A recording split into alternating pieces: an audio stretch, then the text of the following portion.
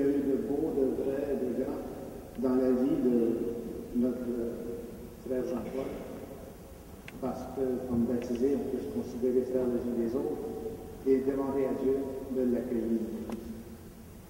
Alors, en signe de respect, d'affection, cinq de ses arrière-petits-enfants vont venir apporter quelques fleurs. Elles peuvent exprimer aussi tout, euh, tout ce que nous pouvons dire, nous n'avons pas toujours la possibilité de le faire.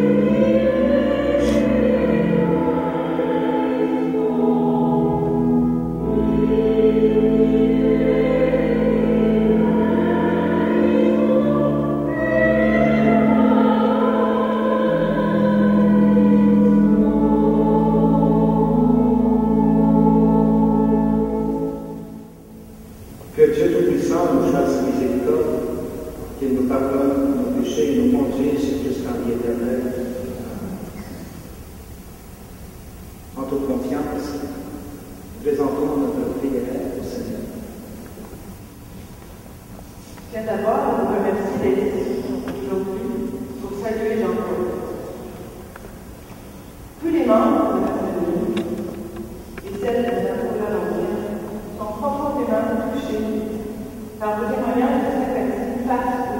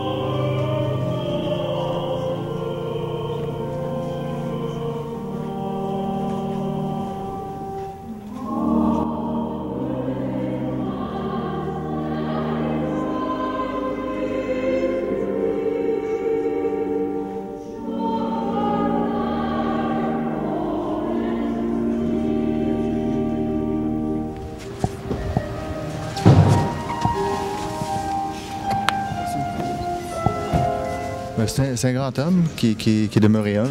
Moi, ce qui m'avait euh, toujours surpris, c'est quand j'avais su qu'il traversait le lac Magog en largeur. Il faut quand même le faire. Il y avait du ça en toute candeur. Je n'étais pas un intime, mais on s'est rencontrés quand même un bon nombre de fois. Et euh, je pense qu'il y avait une grande détermination, d'ailleurs. La façon dont il a parti son journal, c'est assez éloquent. puis, il était modeste aussi. Mais en même temps, quand on le connaissait bien, d'une détermination, d'une force intérieure extraordinaire. Puis modeste, mais extrêmement fier. Grande fierté. Beaucoup d'ambition. Pas tellement pour lui, mais pour les siens. On a perdu quelqu'un d'extraordinaire, quelqu'un qui m'a aidé, quand je suis arrivé euh, ici euh, dans Marie-Victorin. Euh, c'est un homme qui a beaucoup fait pour la communauté, qui a beaucoup fait pour Longueuil. À travers les entreprises qu'il a créées, il a créé des emplois, il a permis à des familles de bien gagner leur vie, d'élever les enfants et tout ça. Il y a plusieurs employés du Courrier du Sud qui me l'ont dit, ça, à quel point il avait été un bon patron. Et c'est un homme également d'information, il ne faut pas l'oublier et c'est un grand indépendantiste. C'est un homme euh, qui était fier d'être québécois. Et c'est très rare, vous savez, dans le monde d'aujourd'hui, des gens d'affaires qui n'ont pas peur de s'afficher comme souverainistes. Et M. Auclair le fait de façon constante et publique pendant une bonne partie de sa vie. Je pense qu'il faut saluer. Moi, j'ai bon espoir que ça va continuer et que le Courrier du Sud va rester un, un média d'information important qui va continuer à être le reflet, parmi d'autres reflets, de l'actualité euh, de Longueuil et de la Rive-Sud. Euh, premièrement, je dois vous dire que Pierre Pénadeau et puis Jean-Paul Auclair s'estimaient énormément, tous les deux, hein, depuis toujours. Euh, ça fait 50 ans qu'ils ont brassé des affaires ensemble.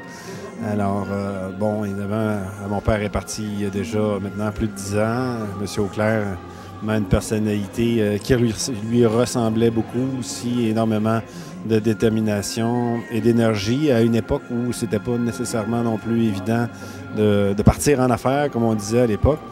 Alors, euh, cette estime-là qui a existé entre lui existe, et c'est ça qui est intéressant aussi, c'est que euh, à l'extérieur des êtres humains, des personnalités, il y a des institutions. Et il y a cette institution qui s'appelle le Courrier du Sud et celle qui s'appelle Québécois. Et ces deux institutions-là euh, s'estiment euh, mutuellement pour faire en sorte justement que ce que M. Auclair a laissé euh, avec le Courrier du Sud puisse demeurer le plus solide et assurer la plus longue pérennité possible. Question, c'est est-ce que vous allez avoir une orientation différente maintenant que j'ai parti? Vous savez, euh, M. Auclair, euh, et ça aussi, euh, quelque part, c'est toujours, je dirais, le talent d'un grand dirigeant, c'est de s'assurer d'avoir une équipe exceptionnelle. on l'a souligné ici durant la cérémonie. donc, le travail de Lucie Mars et de son équipe, déjà quand même depuis de nombreuses années, malgré le fait, et on le savait tous quand même, que M. Auclair, dans la maladie, n'était pas nécessairement aussi présent qu'il l'avait été antérieurement. Donc, il a su assurer euh, une transition et cette transition aujourd'hui euh, fonctionne très bien avec, avec Mars et puis euh, l'équipe de direction de Québécois a toute la confiance dans cette équipe de direction. Est-ce que M. Neveu demeure le président de la compagnie? Euh, il y avait un conseil d'administration. Monsieur Neveu, euh, effectivement, va, rester attaché. Évidemment, comme vous le savez, il habite ici à Longueuil. Euh, il est très actif dans la collectivité. il apprécie énormément. Sa femme également, Doris.